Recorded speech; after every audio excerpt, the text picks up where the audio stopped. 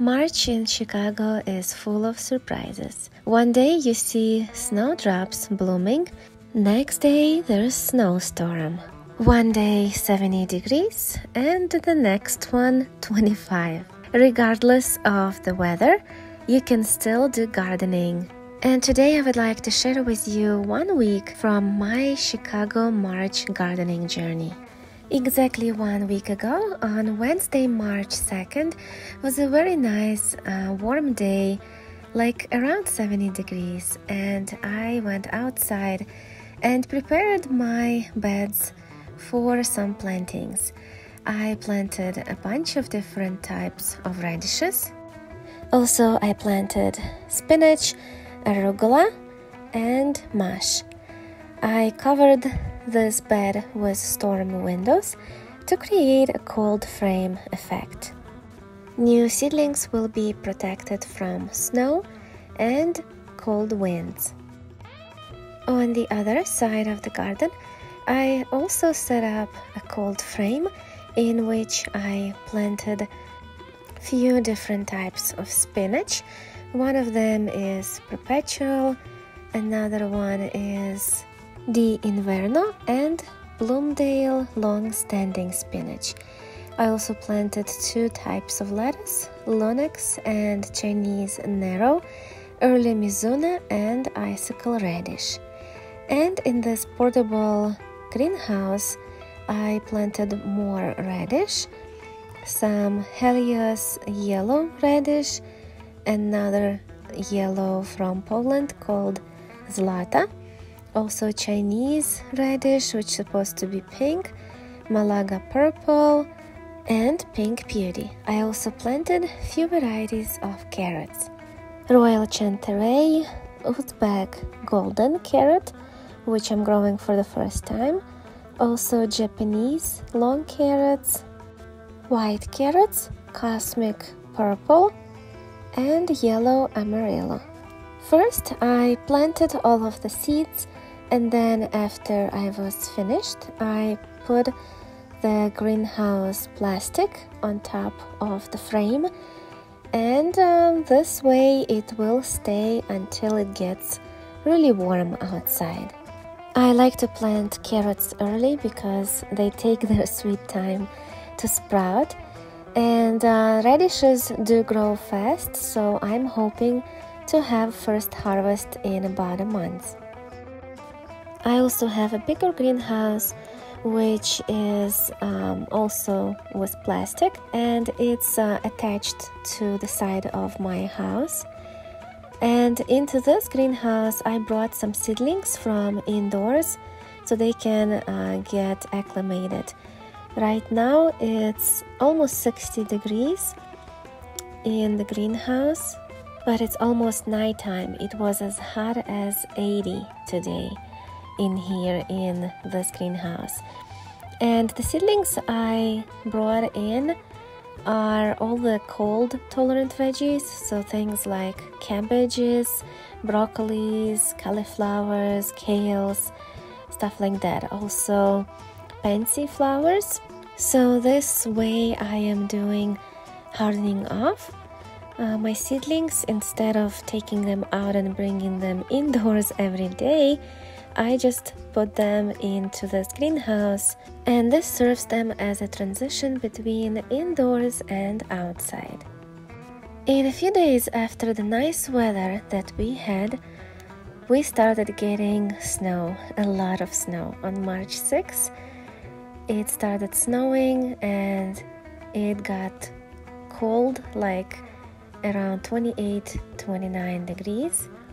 So all of my plantings got covered with snow, all the greenhouses, cold frames, and winter sowing containers.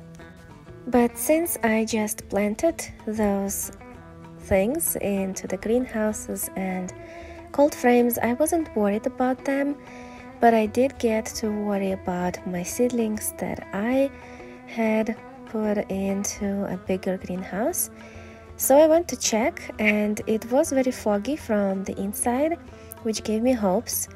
So let's see how they are doing in there.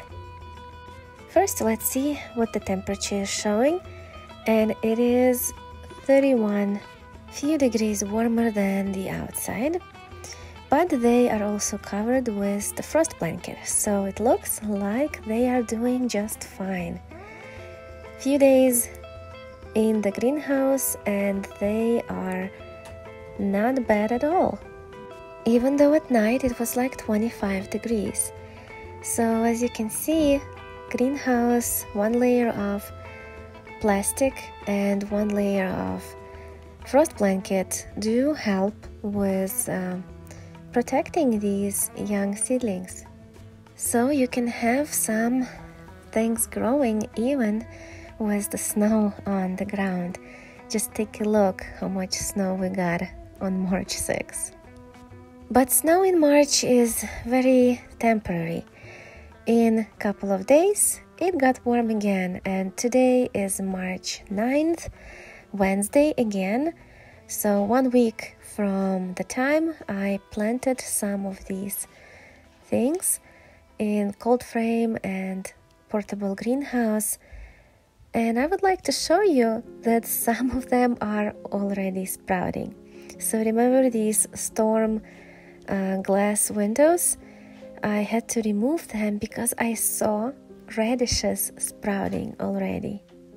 So within one week, even with drastic temperature changes, we got some radishes sprouting.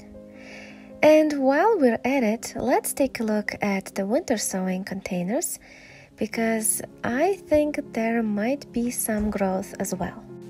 I planted some cool growing vegetables and flowers in these containers, so let's take a look. In the first one, there is some greenery already little tiny seedlings, but that's okay. And this is spinach. There is also one more thing sprouting, and this is rocky arugula. As you can see on the tag, I did these winter sowing containers on January 19th, which is almost two months ago. But they were just sitting outside and no one was touching them until now. Today I opened them for the first time. Let's see this second container, what's growing in here. And in this container I planted cabbages and early purple Vienna cabbage already sprouted. Also Chinese broccoli is starting to show up. Now this third container is more leafy greens are planted there are some winter choy, mibuna, mizuna, and some lettuces growing. So the first one is mibuna, second is winter choy, then mizuna is starting to sprout, and over there in the end is Chinese lettuce.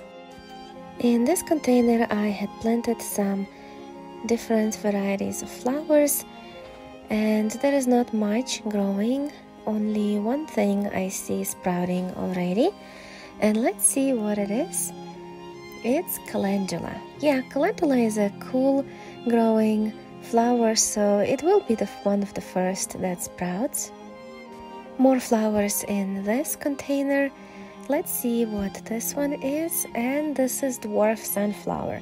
Well, that's a surprise. I thought sunflowers like worms. And polar zinnia. Zinnias are fast to sprout. Yes, I've noticed that.